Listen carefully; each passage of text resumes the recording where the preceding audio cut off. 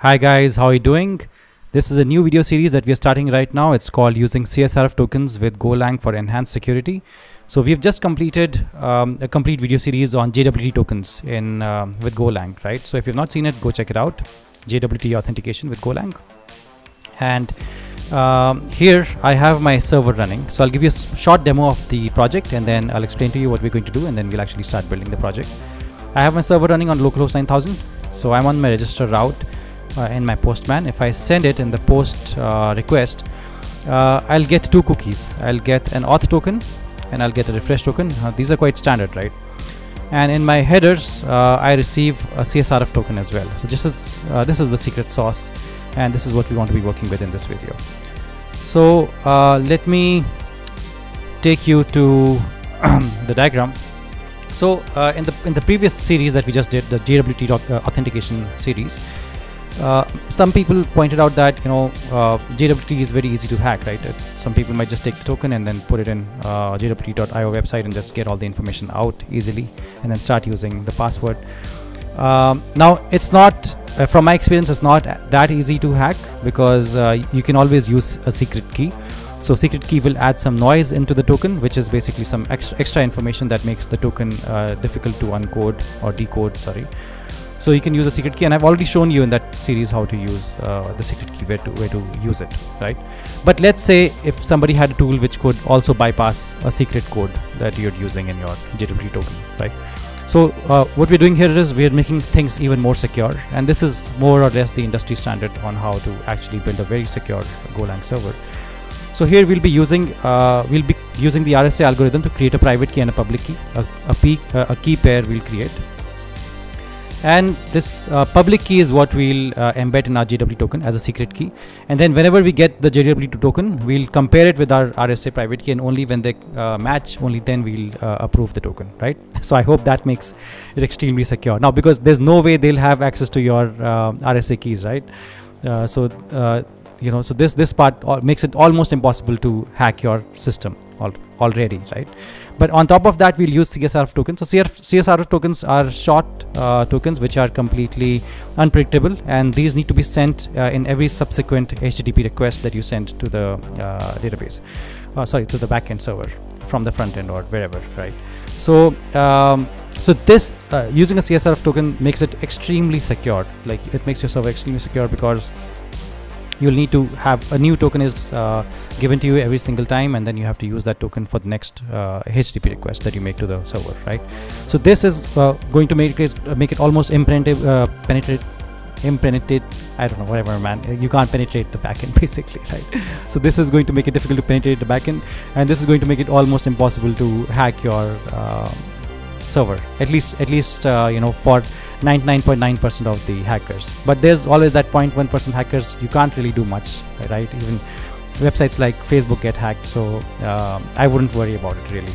So th this will make it extremely secure. So if you do this you're you're sorted. I mean um, as as a senior developer or a senior software engineer or a security engineer your job is sorted out here itself right?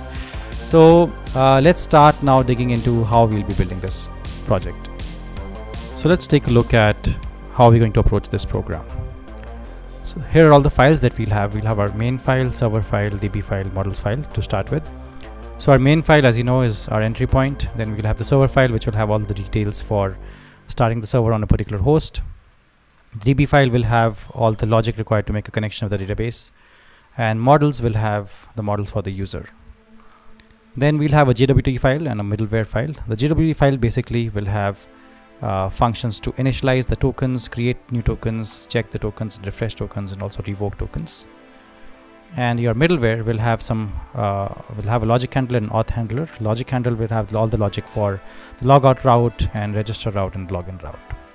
So it's not a very um, you know difficult kind of project structure. I'm going to keep things very very simple because I've already gone into the depth of how to build a proper project structure with um, the JWT authentication series. Go check it out. Here we're just going to focus on how to you know create the csrf token how to use these two keys to create the tokens. You know just this is just a more secure layer. So you can add this on top of that and then you can have something more secure right? Uh, you can have a complete project. Anyhow so this is the whole uh, system that we're going to follow. Now, one important thing here is that I'm not going to going to be using any uh, framework like uh, Gin or something like that, Gin or Fiber. I'm not going to be using anything like that. I'll just be using HTTP. So, I just want you to uh, you know uh, see a different way of doing things in this particular series because I've already shown you how to use Gin and do the whole authentication JWT thing right in the previous video series. So here I'm just going to use HTTP package, nothing fancy, very very bare bones basic structure. And uh, if if you actually really care about security, you wouldn't be using frameworks in the first place, right? You would probably have the HTTP package because that's extremely secure. Adding any packages on top of any packages or frameworks on top of your Golang project uh, in, introduces space for vulnerabilities and uh, places that hackers can, uh, what do you call it, uh, you know, exploit. Let's say, right? So that's why uh, I'll, I'll, not use any framework here, uh, but just to show you a different way of doing things, right? So uh, let's get started with the project. Just uh, take a note of this diagram. This is exactly how I'll be, uh, you know, uh, structuring the project, how I'll, I'll, be going about the whole project. So just make a note of it. You can come back and refer to it. So let's get started. I just realized that my image was really big and you probably didn't see the diagram properly. I apologize for that. I've now made my image really small in the screen. And I also have this really bad haircut. It's because I had to cut my own hair um, because of uh, you know I've since the pandemic I stopped going to a hairdresser. So I've, I've, been in the habit of just cutting my own hair. This saves time. Anyhow um, so let's open up our terminal. Let's create the project right? So I'll head over to the place in my um, project uh, in my sorry uh, laptop where I usually keep my Golang projects and here we'll create a new directory. So we'll say Golang CSRF project. And we'll cd into it. And then we'll just open up the project in VS Code. You could be using anything else not a problem. And all we have to now that you can see it on my screen we just have to create a main.go file and main.go file basically has package main you import a couple of things here and then you have your func main. Right? Let's start creating the rest of the structure. So here we'll have a folder called db a folder called keys a folder called server. And uh, that is it I think. That's it. And inside DB you have your models folder. So we'll create models folder. And inside our DB we'll create a new file called db.go in your server folder you'll have middleware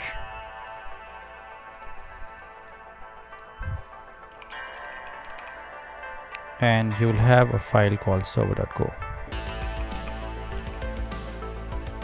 perfect. Now coming back to your main.go file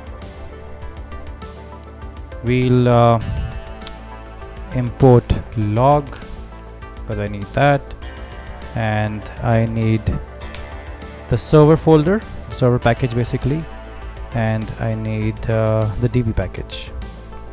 So here we can say github actually uh, what we, what we have not done is we have not initialized our uh, project. So we'll have to initialize it. So we'll say um,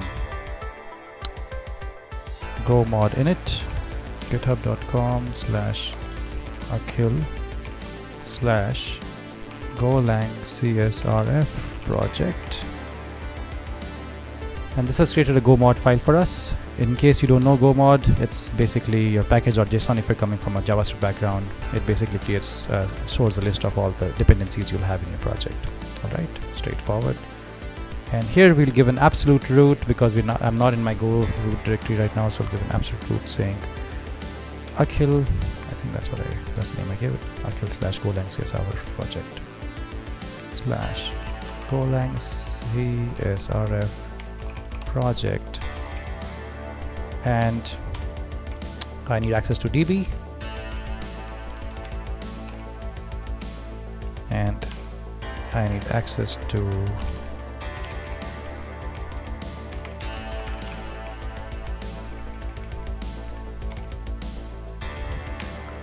need access to the server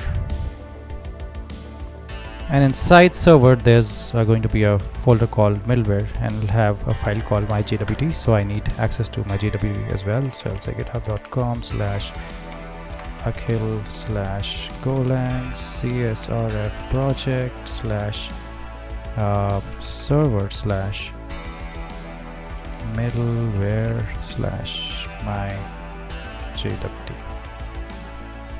so here are all the things that I need and I'm going to just define uh, quickly define my host and my port. For host we're going to say localhost and for port we're going to say 9000 and in my db um, file I'll have a function called initialize my db we need to create that function in our file yet. So I'm just referring referencing it out here but I've not created it.